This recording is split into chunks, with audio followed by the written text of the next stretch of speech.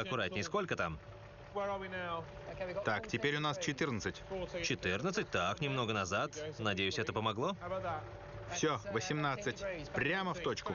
18, замечательно. Теперь у нас как раз необходимое опережение зажигания, и теперь я должен фиксировать трамблер, чтобы мы могли